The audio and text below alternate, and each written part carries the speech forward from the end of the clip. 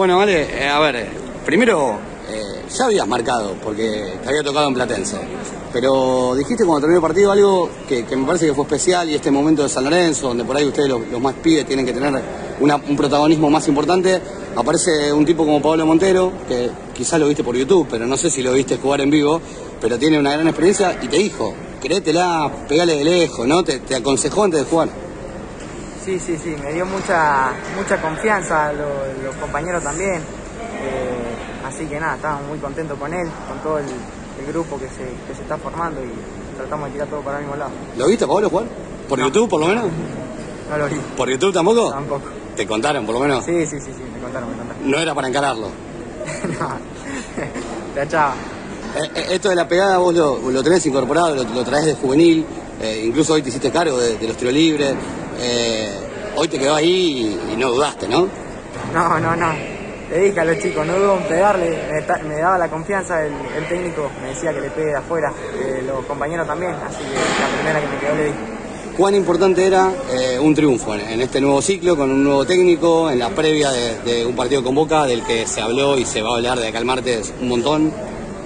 Eh, no, en, en principio del torneo todos los partidos, los primeros, son los que te dan la confianza, así que sabíamos lo importante que era ganar. Eh, veníamos de un empate y, y era muy importante los tres puntos acá en casa. Que te quiero preguntar, ¿de dónde viene lo de la pegada? Eh, ¿es, es un don? ¿Se labura? ¿Lo tenés de chiquito y lo potenciaste, no sé, quizás en el Babi, después en los inferiores? ¿Cómo es la historia? Eh, no, la, la pegada, yo jugaba con mi viejo cuando era chico y siempre me llevaba con lo más grande, tenía 9, 10 años y siempre le pegaba al arco y me salía despacio. ¿Con los más grandes cuánto? ¿14, 15 o no, más? No, no, más, más, más. Pero es amigo tu viejo. Sí, sí, sí, sí. Íbamos a jugar y, Allá en Ameguino. Claro, sí, sí, en main. Y... Grande David. Nada, y, me, le pegaba al arco, le pegaba despacito, entonces me decía, no le pegue una masita, me gritaba. Entonces de ahí ya como que la empecé a practicar, mi viejo me llevaba al club, a Florentina Medina, donde, donde jugaba yo. Me, me hacía patear tiro libre y todas esas cosas, así que nada, acá Ah. también la, la, la practico. Y la fuiste potenciando. ¿Y, y desde cuándo estás en San Lorenzo? ¿Cuántos años llevas en el club? Eh, 2016. 2016. ¿Llegaste con edad de quinta, sexta, No, octava. octava? Octava. Prácticamente todo el camino de inferiores en San Lorenzo. ¿Y qué es para, en este contexto de lo que hablábamos antes, ¿no? Los pibes, el lugar que tienen, la importancia que hoy tienen.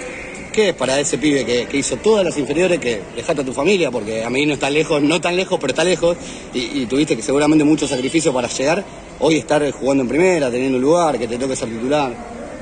No, eh, ponerse la camiseta de este club es algo único. Eh, muchos chicos quisieran estar acá, así que hay que aprovechar. Y nada, siempre lo hablamos con los chicos que es un, un club muy grande y vamos a darle lo que se merece. Ya no son más 10. No, no, no, ya está, ya está, ya está. Esa- Eh, eras, en algún momento eras. Era, era, era, sí, sí. Y después 5 y ahora interno, carrilero por Sí, izquierda hoy. me pongan. No pasa nada, mientras en el medio está todo bien, ¿no? Sí, sí, sí, sí. Vale, muchas gracias.